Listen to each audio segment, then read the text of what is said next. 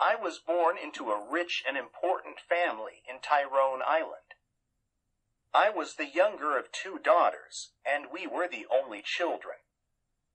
My sister was six years older than me, so we didn't play much together when I was young.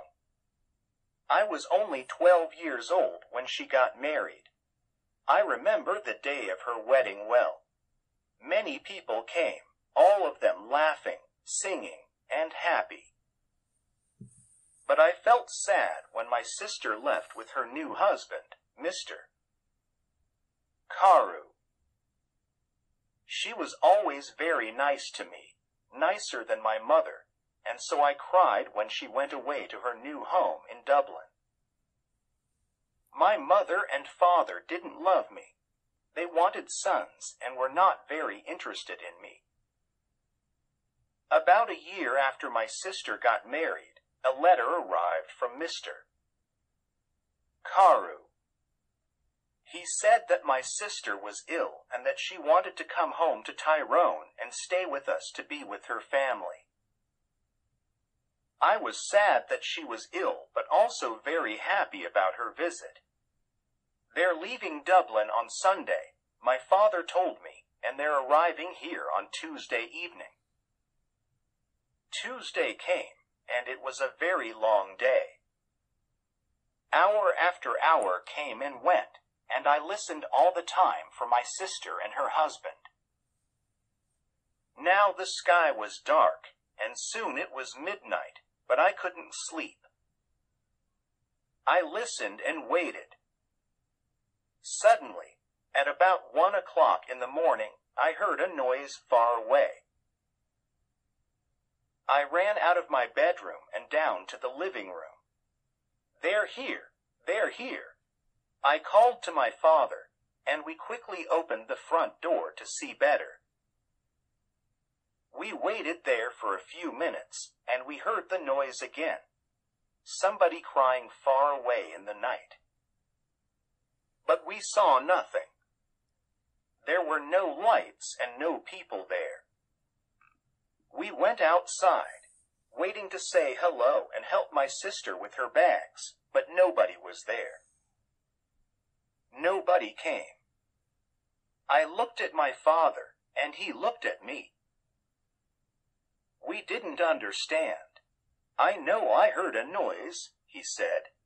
Yes, I answered. I heard it too, father, but where are they? We went back into the house without another word. We were suddenly afraid. The next day, a man arrived and told us that my sister was dead. On Sunday, she felt very ill. On Monday, she was worse, and on Tuesday, at about one o'clock in the morning, she died at the same time that we were outside the house in the night waiting for her. I never forgot that night. For the next two years, I was very sad. You could say that I stopped living. I didn't want to do anything or speak to anyone. Mr. Carew soon married another young woman in Dublin, and I felt angry that he forgot my sister so quickly. I was now the only child of a rich and important family, so before I was fourteen years old, men started to visit our home. They wanted to meet me and perhaps to marry me, but I didn't like any of these men, and I thought I was too young to be married.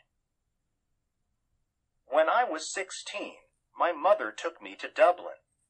Dublin is a big city, she said. We're going to meet richer and more interesting men than the ones back home in Tyrone. We can easily find you a good husband in Dublin. In Dublin, I began to be happier.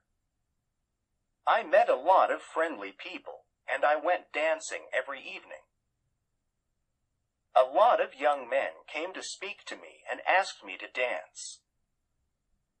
I liked talking to them I started to live and laugh again, and I didn't think about my dead sister all the time. But my mother was not so happy. She wanted me to find a husband quickly. One night before I went to bed, she came into my room and said, Do you know Lord Glenfallen? Oh, yes, I answered. He's that ugly old man from Cahergillagh. He's not ugly, and he's not old, Fanny, my mother said quickly. He's from a very rich and important family, too, and he wants to marry you. He loves you. He loves me, wants to marry me, but he's making a mistake, mother, I said. I don't love him. I can't marry somebody I don't love. Think about it, Fanny, my mother answered quietly. He's a good man, and he wants to marry you. A very lucky young woman. My mother left the room, and I sat quietly for a long time. Lord Glenfallen was a nice, friendly man, I thought. I didn't love him, no, but I did like him. He always talked about interesting things.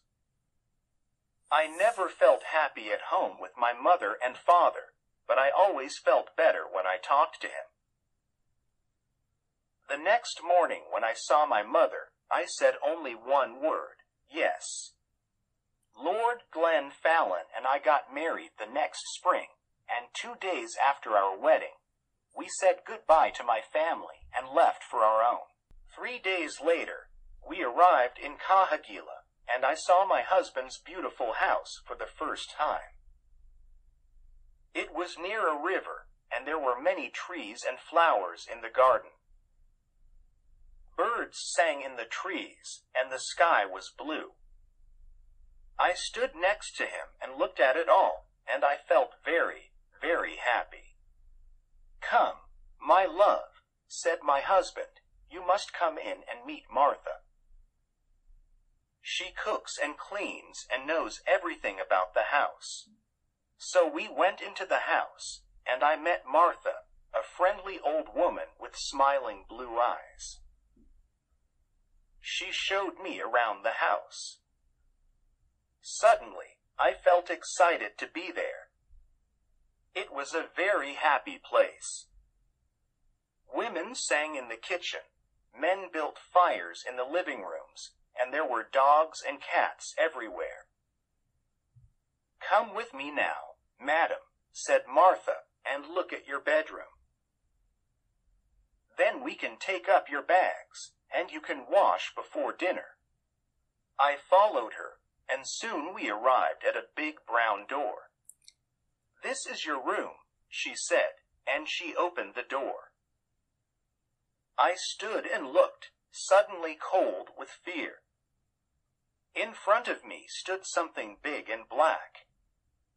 I didn't know what it was.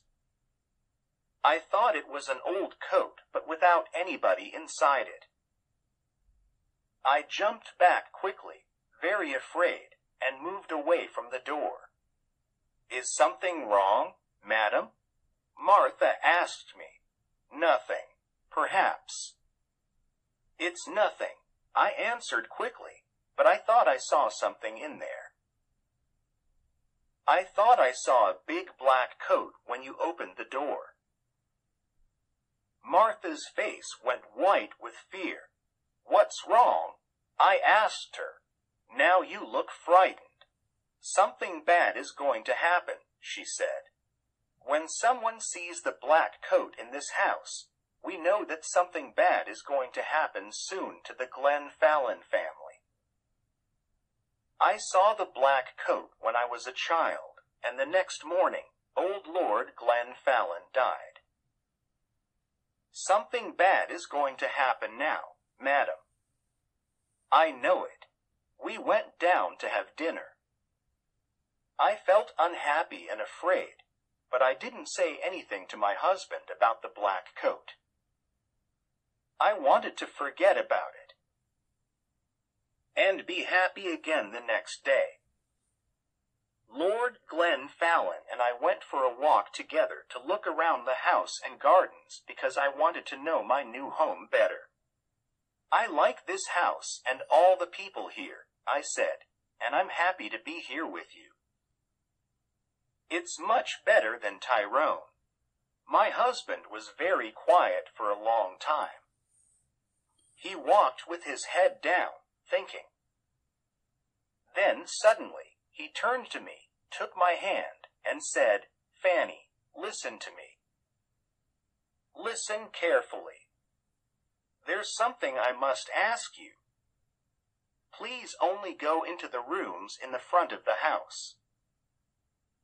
Never go into the rooms at the back of the building or into the little garden by the back door. Never. Do you understand me, Fanny? His face was white and unhappy. I understood his words, but I didn't understand why he was suddenly a different man. Here at Cahergillagh, he never smiled or laughed any more. Perhaps the back of the house was dangerous, I thought, but he didn't want to talk about it any more. We went house without speaking, and again I tried to forget his words and to be as happy as I was before. It was about a month later that I met the other woman for the first time. One day, I wanted to go for a walk in the gardens. It was a beautiful day, and I ran up to my room after lunch to get my hat and coat. But when I opened the door of my room, there was a woman sitting near the fire. She was about forty years old and wore a black coat. Her face was white, and when I looked closely, I saw that her eyes were white too. She was blind. Madam, I said, this is my room. There is a mistake. Your room, she answered. A mistake? No, I don't think so. I don't think there's a mistake. Where is Lord Glenfallen? Down in the living room, I said. But who are you, and why are you here in my room? Tell Lord Glen Fallon that I want him, was all she said. I must tell you that I am Lady Glenfallen, and I want you to leave my room now, I said. Lady Glenfallen? You are not. You are not, she cried and hit my face very hard. I cried out for help, and soon Lord Glenfallen arrived. I ran out of the room as he ran in and waited outside to listen at the door. I did not hear every word, but I knew that Lord Glen Fallon was very angry and the blind woman was very unhappy. When he came out, I asked him, Who is that woman? Why is she in my bedroom? But my husband didn't answer me. Again, his face was white with fear. His only words were, Forget her. But I did not forget her, and every day it was more and more difficult to talk to my husband. He was always quiet now, always sad and afraid. He sat for hours looking into the fire with his unhappy eyes, but I didn't know why, and he didn't want to tell me. One morning after breakfast, Lord Glenfallen suddenly said, I have the answer. We must go away to another country, to France or Spain perhaps. What do you think, Fanny? He didn't wait for my answer, but left the room very quickly. I sat and thought for a long time. Why must we leave Cahergillagh? I didn't understand, and I didn't want to go too far away from my mother and father in Tyrone. They were old now, and my father was sometimes ill. They didn't love me very much, but I wanted to be near them. I thought about it all day, and I didn't know what to say to my husband when he arrived back in the evening and came into dinner. I said nothing. After dinner, I was very tired and went up to my bedroom early. I wanted to have a good night's sleep and think about it all again the next day. I closed my eyes and went to sleep, but I did not sleep well because I dreamed of the black coat. Suddenly, I woke up. Everything was dark and very quiet. Somebody was at the end of my bed. There was a hand with a light, and behind the light, a blind woman. She had a knife in her other hand. I tried to get out of bed and run to the door. Stop.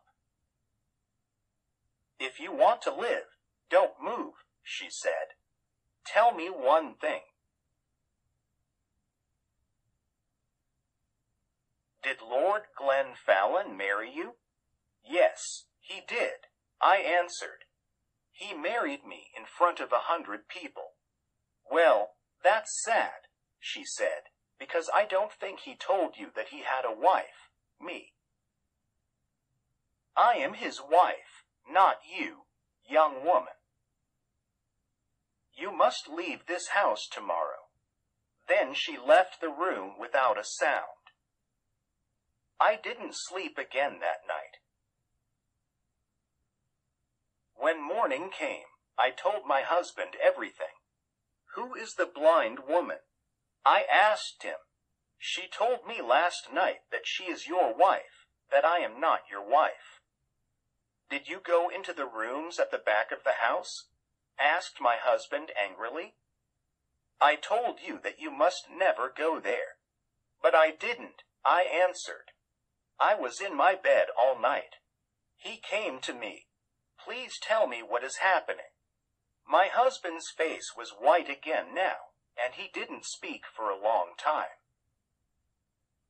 Then he said, No, she is not my wife. You are. Don't listen to her. She doesn't know what she is saying, and he left the room. I ran to find Martha. I didn't like this house any more. My husband was a difficult man, and I didn't understand him. Who was the blind woman? I wanted to know everything. Don't cry, madam, said Martha when I found her. Sit down and listen to me. What I'm going to tell you is not very nice. The blind woman, the woman in the black coat, is dead. You saw her ghost. She was married to your husband, and she was Lady Glenfallen. Nobody knows how she died. Her bedroom was at the back of the house. Somebody saw your husband with a knife in his hand on the night she died. Did he kill her? Nobody knows. When we found her, the knife was on the floor next to her and her eyes. Somebody cut her eyes out after she died. Perhaps he didn't want her to see his other women, his next wife, you. I didn't wait to speak to my husband again. I left that day. I was too afraid to stay another minute at Cahergillagh. I knew that the blind woman was going to come back again and kill me. I said goodbye to Martha, took my bags, and told my driver to take me back to Tyrone. I'm happy living here with my mother and father now. The house is quiet. I sleep well each night, and they are friendlier to me than they were before. Sometimes my dead sister visits me at night, but I'm never afraid. She tells me that the blind woman is trying to find.